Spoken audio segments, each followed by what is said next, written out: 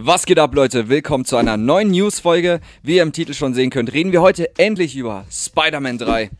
Wie wird der Film ausschauen? Was wissen wir bis jetzt? Das erfahrt ihr in dieser Folge. Und ähm, wir glauben, dass das Multiverse jetzt endlich kommt. Wieso glauben wir das? Ähm, Marco kann berichten, welcher Schauspieler eigentlich als erstes dann äh, bestätigt wurde. Es werden, wurden ja viele Schauspieler bestätigt, das weißt du nicht mehr, oder? Doch, doch, weiß ich. okay. Und zwar ist das ein Mann mit Blitzen. Snitzen. Ja, tatsächlich Tom Holland wurde als Spider-Man bestätigt. nee, und zwar ein Mann mit Blinzen, äh, Blin. Das war, das war Electro aus The Amazing Spider-Man, gespielt von Jamie Foxx, glaube ich, hieß er. Ähm, Jamie Cox. Auch, äh, der war auch. Genau, äh, er wurde bestätigt als ein ähm, quasi Bösewicht-Charakter und zwar wie gesagt Electro. Aber nicht in Blau, sondern In rosa, ich weiß es nicht mehr. in Gelb. Mit seinem grünen Anzug, Comic klassisch.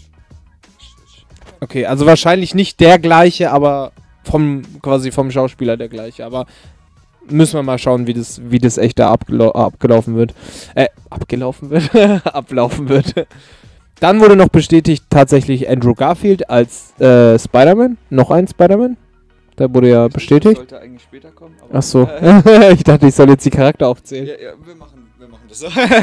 ähm, das, genau, und dann wurde tatsächlich auch Dr. Octopus aus Spider-Man 2 von den Sam Raimi-Filmen äh, offiziell bestätigt. Daraufhin dann auch Mary Jane aus den Sam Raimi-Filmen. Und wie er dann schon gesagt hat, eben plötzlich Andrew Garfield. Voll krass. Und ähm, sogar auch Netflix Daredevil wurde äh, offiziell bestätigt. Der wird in dem Film mitspielen. Und ähm, jetzt denkt ihr euch vielleicht, hä, was, was, was glaubt ihr, äh, wie, kann, wie wird das dann ausschauen, wenn der Daredevil dann mitmacht? Wir glauben gar nicht, dass er als Daredevil auftauchen wird. Sondern, das kann der Marco mal sagen, wir, wir haben eine Theorie, wie er auftauchen könnte. Gar nicht. das, das ist die Theorie. So ein Bild von ihm ganz witzig so. Nee. nee, und zwar wir denken, er wird als äh, Nelson Murlock. Heißt er so, äh, der Daredevil? Als. Ne, nee. Murlock? Murdoch? Mad Murdoch. Mad Murdoch, Nelson genau. ist sein Kumpel. und Ach ja, ist, stimmt, äh, ja. Nelson und Murdoch ist ja und die das ist ja Kanz- Nelson Murdoch. Das ist ja seine Das Kanzlei, ja. Das ist seine Kanzlei, ne? Ja, stimmt. Ähm, genau, äh, Matt. Matt? Mad Murdoch. Murdoch, genau, dass, wir, dass er quasi als Rechtsanwalt für Peter Parker einspringt. Äh, einspringt. Da stellt sich natürlich die Frage, wieso braucht, äh, müsste jetzt Peter einen Rechtsanwalt brauchen? Und zwar äh, im zweiten Teil, also Far From Home, äh, wo Tom Holland eben Spider-Man war, hat ja, äh, ist ja am Ende dann passiert, ist es ja, Spoiler, ist ja am Ende passiert, für diejenigen, die es noch nicht gesehen haben, Spoiler, ist ja so am Ende passiert, dass Jamie, äh, na, dass, dass äh, James Jonah James, Jameson, Jameson. Junge Jameson, was, James Jonah James, Jameson, Sag einfach Jameson. der Jameson, der JJJ, der hat ja dann enthüllt, dass quasi ähm, Peter Parker, also dass Peter Parker Spider-Man ist und dass er schuld ist, dass Mysterio gestorben ist. Zumindest wurde das so hingestellt von Mysterio. Also er, hat ihn, er hat ihn umgebracht, angeblich. Zumindest wurde es so von Mysterio äh, ähm, dargestellt. Allerdings, wir wissen auch beide, und wer die Comics kennt, Mysterio ist zu 100% nicht tot. Der hat es einfach vorgetäuscht. Und es ist ja natürlich nicht nur, dass er selbst Justiz begangen hat als Spider-Man, sondern er äh, ist dann quasi als Mörder von Mysterio dargestellt. Deswegen glauben wir, dass Daredevil theoretisch als Strafverteidiger äh, auftauchen wird. Danke. Und äh, quasi sein, sein Rechtsbeistand äh, werden wird. Was dann auch endlich mal eine Verbindung zwischen Serien und ähm, Film wäre. Eine offizielle. Ja. Dann, wie gesagt, kam ja äh, Andrew Garfield wurde ja bestätigt. Wer wurde noch nicht bestätigt? Tobey Maguire. Tatsächlich wurde nicht offiziell bestätigt, aber man hat ihn ta äh, tatsächlich am Set gesehen. Aber nicht offiziell bestätigt, dass er jetzt irgendwie ein Spider-Man ist oder nicht. Wir wissen es noch nicht. Wir sind auf jeden Fall gespannt, ob das noch so ist.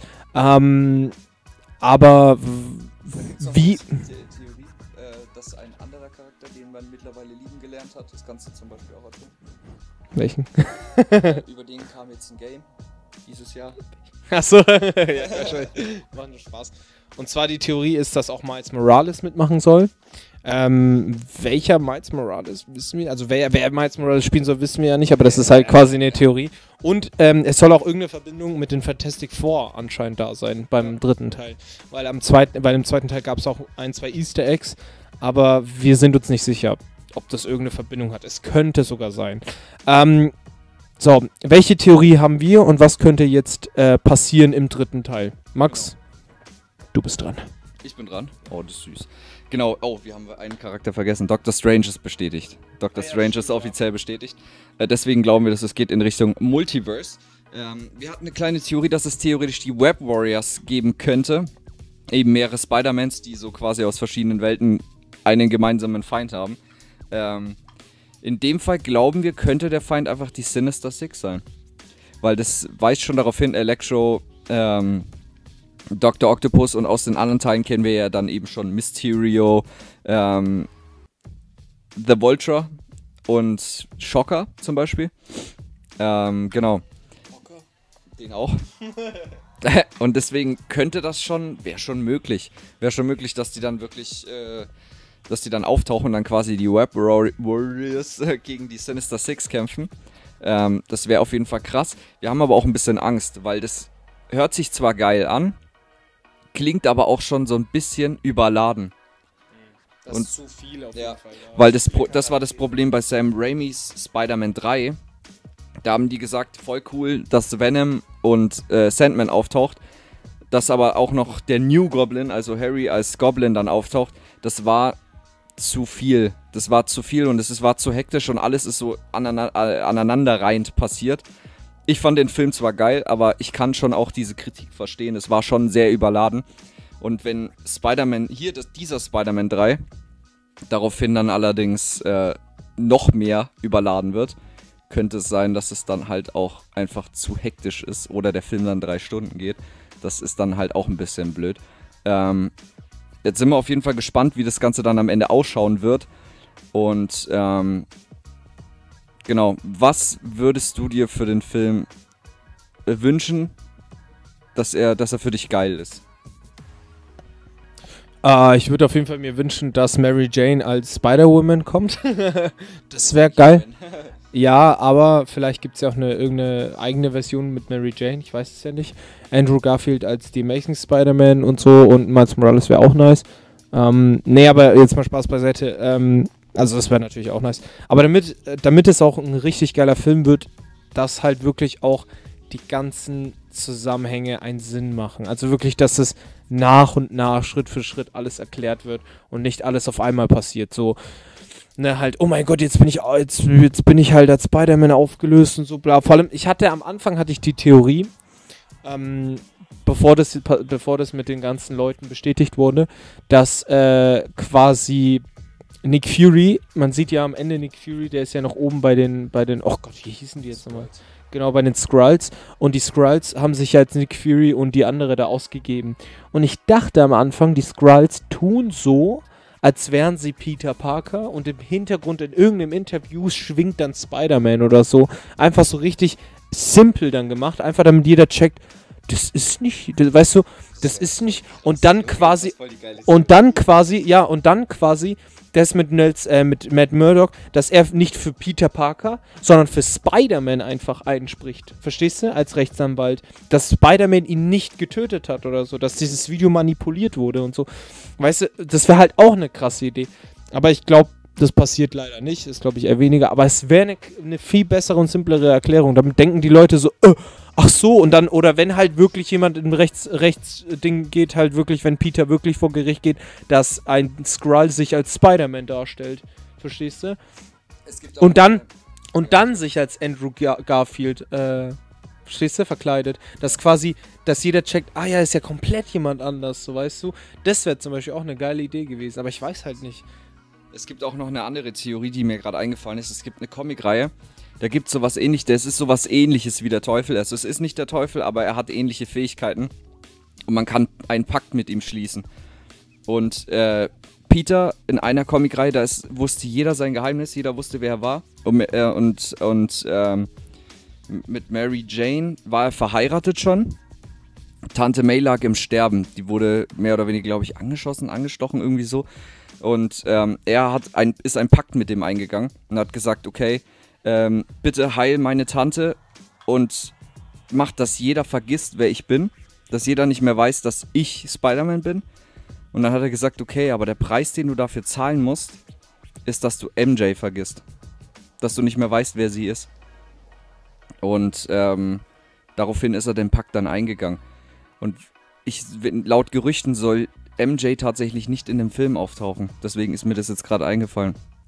Könnte doch dann sein, dass es theoretisch so am Ende oder dass sie dann halt das letzte Mal auftaucht und dass er dann quasi diesen Pakt eingibt. Geht, das kann theoretisch dann vielleicht auch sein. Aber das würde ja bedeuten, dass sie dann theoretisch eine Besetzung brauchen für diesen Typen. Für diesen Teufelstypen. Das heißt, damit würden sie wahrscheinlich. Das ist Matt, Matt Murdock. Vielleicht ist das der von Daredevil. Ja gut, sowas kann er ja nicht. Ja, sowas kann er ja nicht, das ist ja nur Mensch im Endeffekt. Ähm, Aber anderes Universum. Theoretisch. Matt Murdock aus einem anderen Universum, Leute. Jetzt wird es langsam echt krass.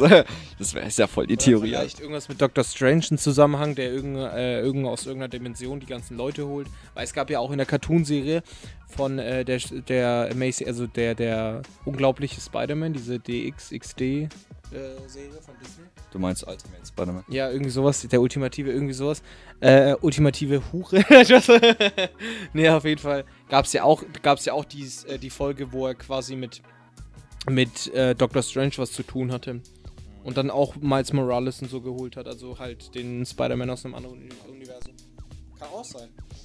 Also, äh, wie, ihr, wie, ihr, merkt, das sind so ganz viele Theorien und, und äh, ganz viel kann man endlos drüber diskutieren. Ja, da kann alles passieren. Wir wissen es halt im Endeffekt nicht. Vor allem, was, was uns jetzt, was mir jetzt noch die Frage offen ist, was haben dann die Fantastic Four noch damit zu tun? So weißt du? Das Ding ist, man weiß halt auch nicht, in welchem Rahmen die auftauchen, die ganzen Charaktere. Selbst Andrew Garfield. Das Ding ist, die, die, wir wissen, die machen mit, aber du weißt ja nicht, in welchem Zusammenhang. Kann auch sein, dass die in der Endcredit-Szene eine Szene haben, weißt ja, du?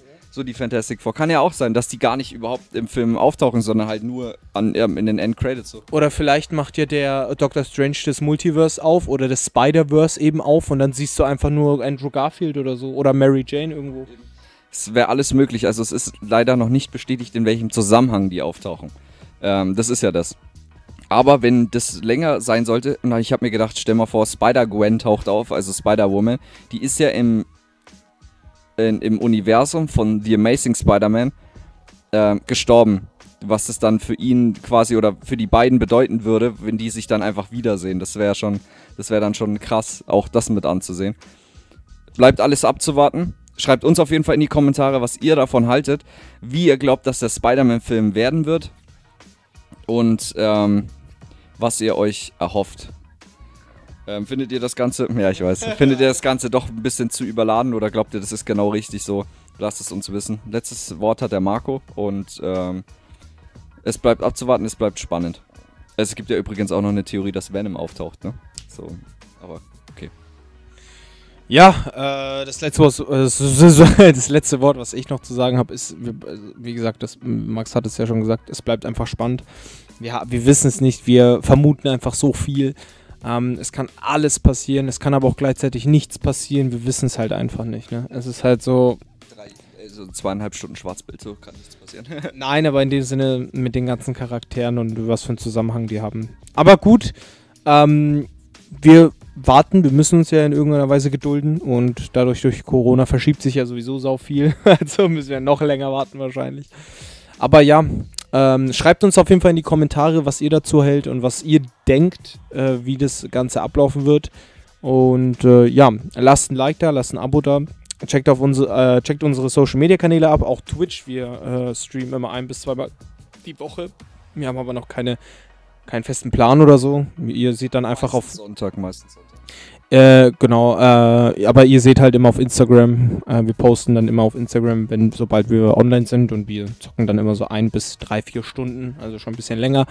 Und ja, dann würde ich sagen, wir sehen uns beim nächsten Mal, wir hören uns beim nächsten Mal und bis dann. Tschö. Ha! Richtig.